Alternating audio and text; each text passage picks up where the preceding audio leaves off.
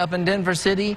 A couple 1A games. Whiteface facing Sands. Close game in the second quarter. Holly Scoggins drives, pull up for the Lady Lopes. That puts them up 10 to 9. On the same end, Scoggins from the corner, extending the lead for Whiteface. But on the other end, Landry Morrow responds with one of her own. Sands goes back in front 17-13 and wouldn't you know it the Lady Mustangs able to get the gold ball they win 46-34